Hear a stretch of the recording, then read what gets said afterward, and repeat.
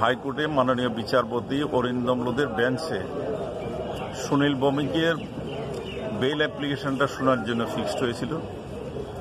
আর আজকে শুনানি হয়েছে। আমি ওইখানে আর্গুমেন্ট করেছি কি কারণে তার বেল হওয়া উচিত। সরকার পক্ষ আর্গুমেন্ট করেছে কি কারণে বেলটা না দেওয়া উচিত। Honourable justice after hearing both of us he was pleased to direct that accused be released on bail on execution of a bond of rupees 5 lakhs. Accordingly, I hope that he is going to be released by today evening.